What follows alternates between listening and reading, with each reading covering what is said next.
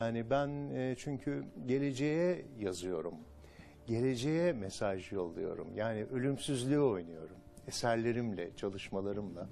Dolayısıyla beni çok da ilgilendirmiyor insanların ne düşündüğü, ne yaptığı e, ya da işte e, mahalle baskısı denilen bir şey varsa onu ben çok hissetmiyorum. Çünkü ben e, bir sanatçının e, netice itibariyle tüm savaşları gerçek sanatçı ise şayet savaşları kazanacağına inanıyorum.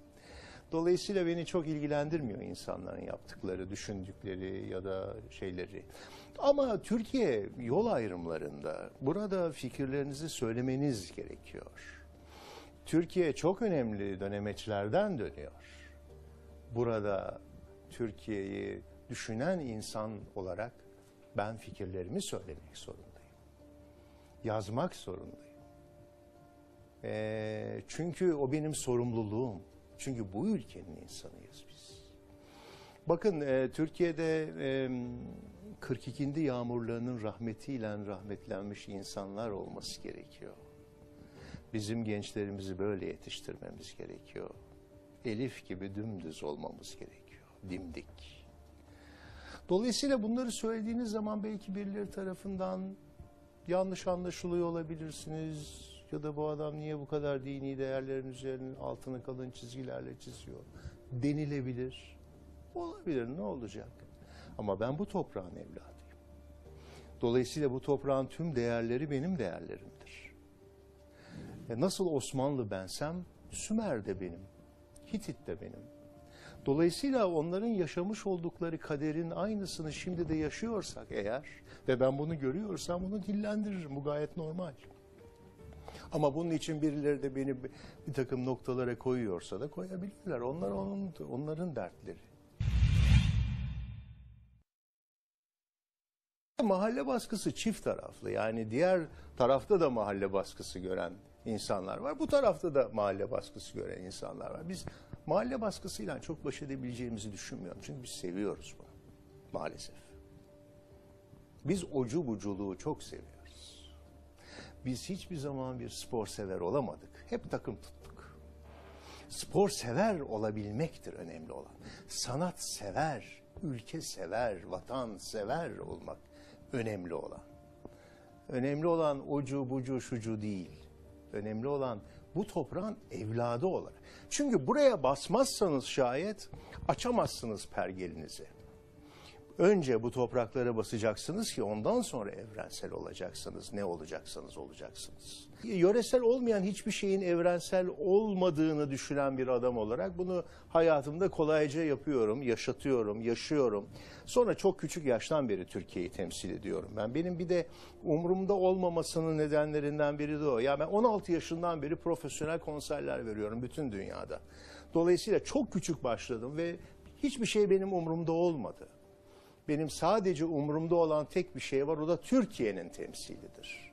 Bu toprağın insanının sesini başka insanlara çığırmaktır, ulaştırmaktır.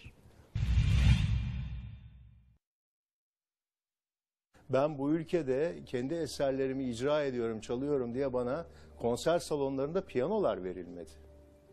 Yani ille ben Beethoven çalacağım, Mozart çalacağım. Oysa ben Beethoven, Mozart çalmanın arkasında ne olduğunu biliyorum. Onun için çalmıyorum ben. Çünkü müzik akademilerindeki çok önemli yetkililerin bana söylediği şeyler var. İtiraf ettikleri şeyler var.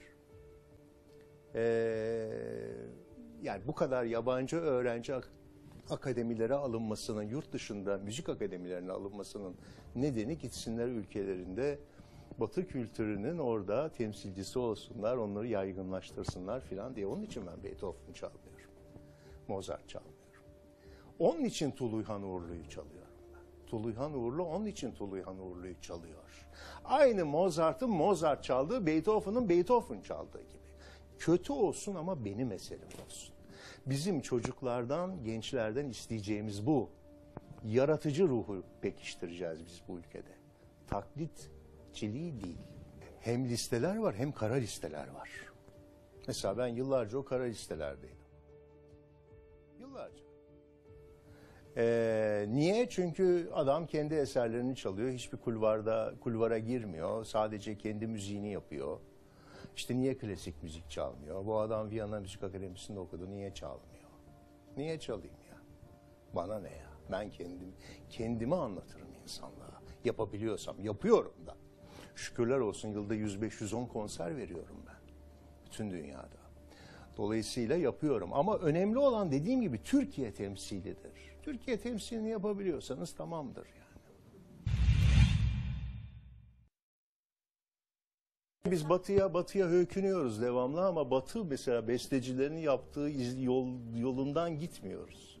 Mesela e, Bartok, Brahms, e, Rahmaninov, Shostakovich, Haçaturyan, Tchaikovsky, e, Beethoven hepsi yöresel değerlerini evrensel platformlarda sunmaya çalışmışlar ve başarılı olmuşlar. Mahler, Bruckner, e, Anton Weber hepsi kendi yöresel değerlerini, kendi halk müziklerini oralardan esinlenerek çağdaş eserler bestelemişler.